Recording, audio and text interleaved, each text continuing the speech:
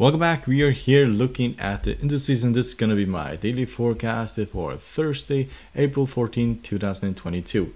If you like to support our channel, you're welcome to hit the subscribe button down here in the corner, hit the like button, the bell button to see our newest videos, and you're welcome to join us over at Patreon if you want our full technical analysis um, and, and all of our other futures. Um, the link is down below.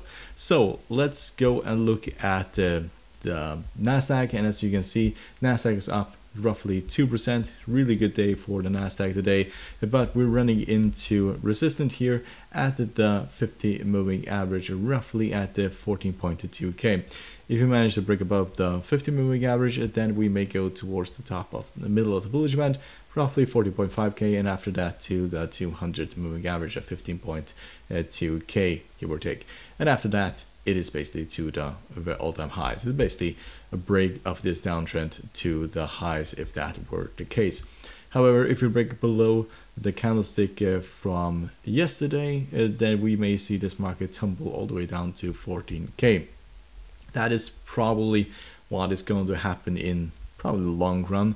We'll probably see um, some pull uh, back and forward in the next few trading days, but outlook for uh, the world economy, also U.S. economy, and so on, is not favorable, uh, uh, not very favorable at this current stage. So we may see this market tumble even further, especially if monetary policy gets much tighter.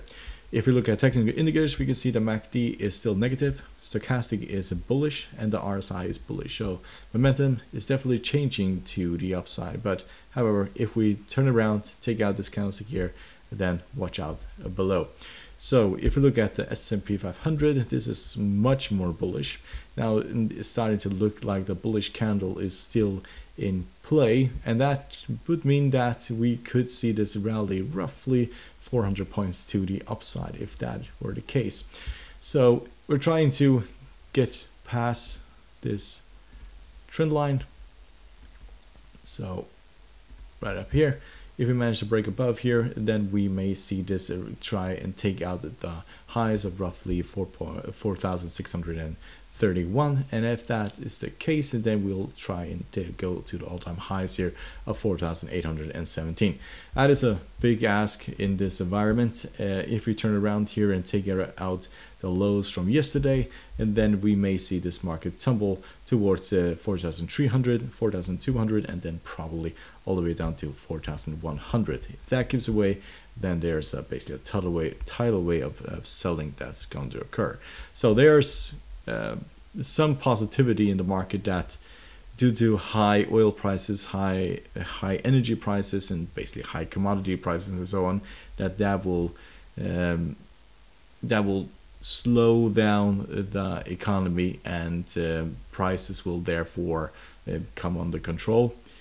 Um, that is maybe yes that will have an effect. Of course uh, oil energy prices will uh, affect uh, purchasing power of uh, of of consumers.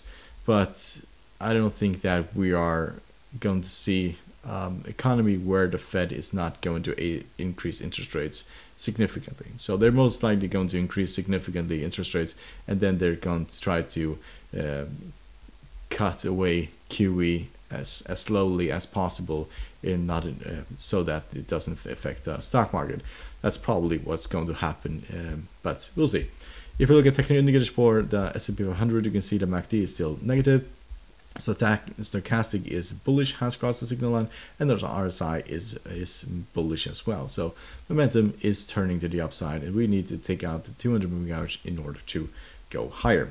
So Dow Jones also looking fairly bullish as well. Tested several times at this uh, uh, 34.1k, and we have bounced from that if we take out this uh, candlestick from yesterday, then we may drop all the way down to the very bottom here. However, to the upside, taking out, uh, if we rally above the 200 moving average and the very at the tops here, then we may go towards the very highs here of 36.9. But that is to be seen.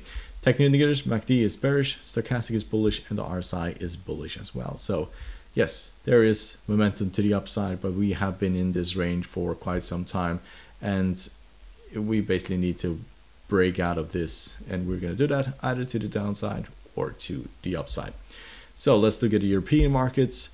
DAX is looking, well, fairly bullish at this point. It probably will have a run at the 50 moving average up here at 14.4k.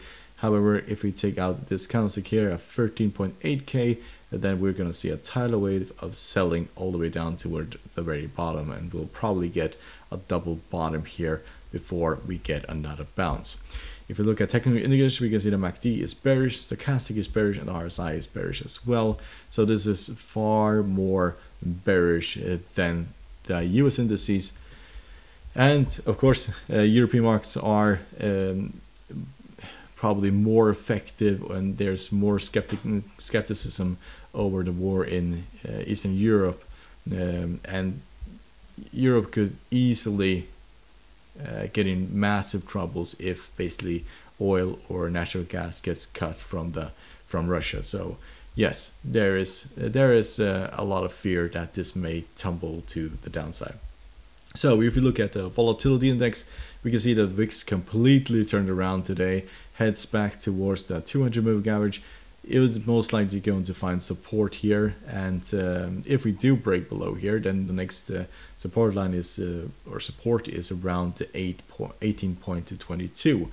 Um, pretty sure that we'll find support here and we'll basically bounce and we'll probably stay in this range. However, if we manage to take out the, the top of this candlestick, then we'll go and test the 50 moving average at 26.49 and then we'll go and test the very high C yet again. So yes, it has been, it's, uh, the wicks has basically been all over the place. Um, uh, when you basically thought that this was going to go back to the highs, it basically fell apart. If we look at technical indicators, we can see the MACD is uh, bullish, stochastic is bearish, and the RSI is bearish as well. So uh, MACD is uh, bullish in negative territory, so momentum is still to the downside. If you look at the 10 year, it has a pullback and it needed to pull back, and we'll probably see this pull back even further towards roughly 2.5 where we'll find support. That's the middle of the bullish band also the previous highs here and that's probably we're gonna see pull back here and then continue higher. And if we take out this then we're most likely gonna go for three. So hope you find this helpful. You will support channel by subscribing hit the like button and the bell button to see our newest videos and good luck and thank you very much